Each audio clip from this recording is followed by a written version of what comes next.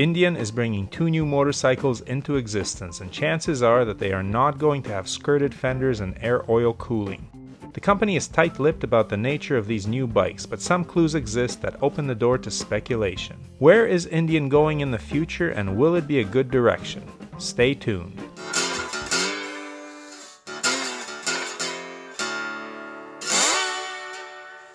Like Indian, this channel is growing, and you can help it grow further by clicking that subscribe button and ringing the bell.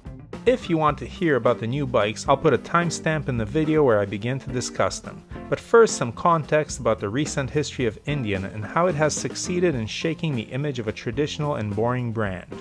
The original Indian Motorcycle Manufacturing Company operated from 1901 to 1953. After 1953, the name bounced around among different owners and was stuck on all kinds of machines, from scooters to Royal Enfields disguised as Indians to a Harley clone with an 88 cubic inch S&S engine, before an actual original motorcycle with the Power Plus 100 cubic inch motor was eventually put together by the now defunct Indian Motorcycle Company of America in 2002. That outfit folded a year later. The brand was revived as the Indian Motorcycle Company in 2006 and built very small quantities of Indian Chiefs for the next five years. It made barely a ripple in the motorcycling world and would probably still be building a very small number of very expensive, very niche, and very traditional bikes if it hadn't been acquired by Polaris Industries, an off road vehicle, snowmobile, and watercraft manufacturer and parent company of Victory Motorcycles. Over the next few years, Indian became the traditional brand under Polaris, while Victory was seen as the more modern, high performance option. The Indian Chief, Chieftain, and Roadmaster were air and oil cooled and clearly aimed at the traditional cruiser rider. However, in 2015, Indian did something that would have been unthinkable 10 years earlier. They introduced a modern liquid cooled engine in the Scout, an engine that put out 100 horsepower, and it didn't have cooling fins, not even fake ones. This was a test, a toe in the water to see whether the notoriously traditionalist American buyer would accept an engine with a radiator that got its power from revs rather than from a gigantic flywheel with the momentum of two black holes circling each other. And the lack of fake cooling fins was a big fat middle finger to tradition. Everyone held their breath to see whether this strange experiment would actually work. Modern technology in an American motorcycle? Sacrilege. Well, it sold. What do you know? American buyers wanted power even if it meant having a rad on your traditional looking cruiser. The world had moved on, and customers were no longer insistent on riding motorcycles with 1930s tractor engines. Whether the Scout was a death knell for Victory motorcycles was unclear, but now that Indian was building more modern bikes, Polaris decided to kill the Victory brand, an act for which many Victory owners never forgave them. That is a story for another video, but suffice it to say the Victory brand lives on in the newer Indian models in spirit if not in name. With the success of the Scout, Indian, and by extension Polaris had proof that Americans were willing and able to accept modern engine designs. And so they went to work without the shackles of tradition holding them back.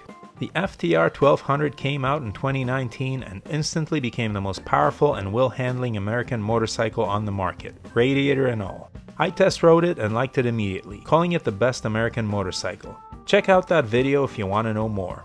And then of course, who could forget the Challenger, a bagger with a frame-mounted fairing and a liquid-cooled V-twin which took aim at the Harley Road Glide and managed to deliver superior performance in almost every respect.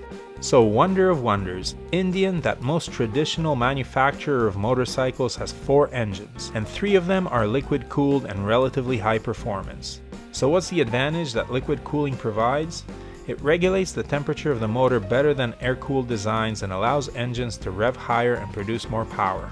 In addition, liquid-cooled engines have better fuel economy and lower emissions due to the fact that they can run leaner air-fuel mixture. In theory, they are also reputed to be more reliable, though some owners of air-cooled bikes will argue that point vehemently. The advantages of air-cooled designs? Less weight, complexity, and cost because there's no radiator and you don't have to circulate the coolant through the engine. However, with ever increasing emission standards, the complexity and weight of exhaust systems is growing and the perks of air cooling are disappearing. There will come a time when air-cooled engines will not be a viable option given how much it will cost to make them environmentally acceptable. What happens then? Well, Indian will have a lot of options to fall back on. So now, Adventure Rider magazine is reporting that Indian has filed a patent on two new motorcycles with the names Pursuit and Guardian. Indian isn't letting on what kind of bikes these will be, but what are the chances that they will have one of the air oil cooled Thunderstroke engines? Almost zero. Most of Indian's lineup is running those engines already, and they have lots of big cruisers in the lineup. Too many variations on the same theme. No need for more, I would argue. And wouldn't the Pursuit be a perfect name for a police bike? One based on the current Challenger. The police motorcycle market is lucrative, and a Challenger based bike makes the most sense if you want to steal some of that market from Harley. Most police forces are looking for American made baggers that have to be all day comfortable and fast, and the Challenger meets all of those requirements. Idle speculation, but what a boon it would be for Indian to get some contracts from big city police forces. Police bikes bring in profits, but also increase the visibility of the brand, which is a further advantage of getting those contracts. Pursuit could also refer to a sporty offering, maybe a sports tourer based on the FTR 1200.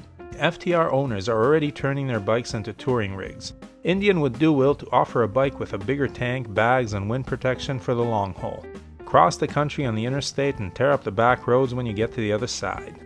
As for the Guardian, it's impossible to tell from the name what kind of bike it might be. It would be smart for Indian to build an adventure bike around the FTR as well. That engine has great character and plenty of power for the job.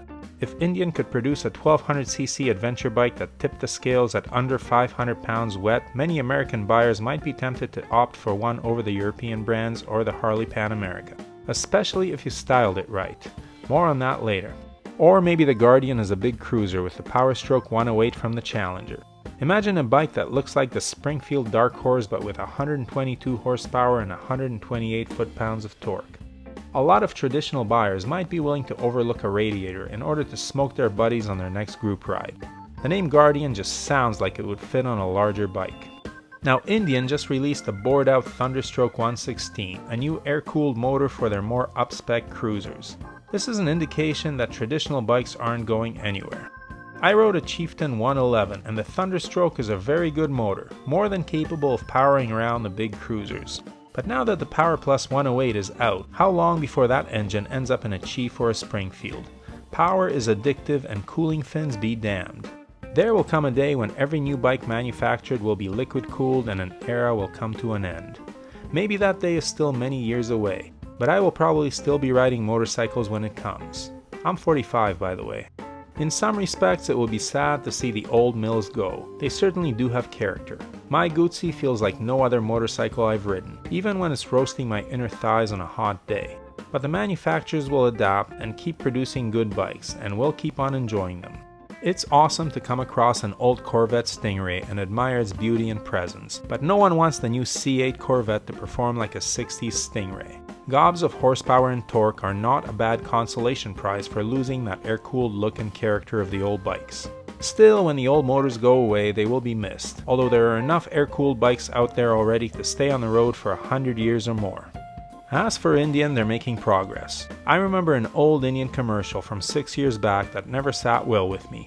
It depicted five riders on Indian motorcycles coming up to cross another road on which streamed an endless line of Harleys.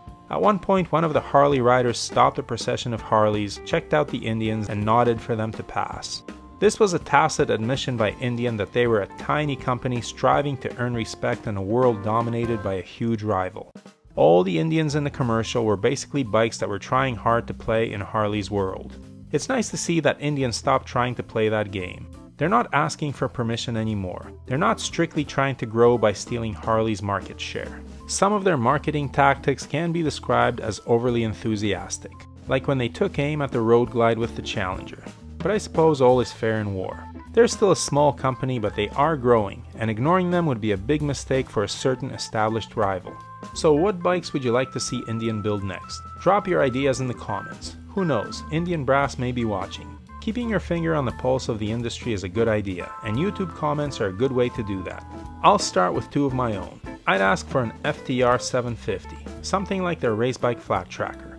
Lighter and more nimble than the 1200, 90 to 100 horsepower, 400 pounds, and price it around the Scout Bobber 60. That would make the brand accessible to a lot of young riders looking for a performance bike and second, an adventure bike with an FTR engine. But style it retro, like an old military bike. Something that rips like the FTR but looks like a Triumph Scrambler or Royal Enfield Himalayan, with aluminum bags and a removable windshield for touring. No one has made that bike yet. Oh, and 500 pounds or less please. Oh well, it's easy to wish, much harder to engineer and style it into reality. Whatever happens in the future, Indian is good for American motorcycling. Competition drives innovation and prevents complacency, and Indian is certainly not complacent. In these times, no one can afford to be. So let's hope for a quick economic recovery and for the success of American motorcycling in general. The more companies out there, the more choice for the consumer. And as much as I like the character of the old school motors, those new liquid cooled ones look like a lot of fun. And feel it too. Indian, let's see them in more bikes.